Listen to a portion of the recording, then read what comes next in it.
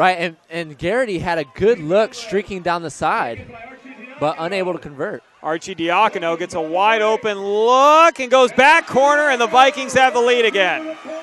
A breakdown defensively in transition by the Bishop School, and the Vikings take advantage.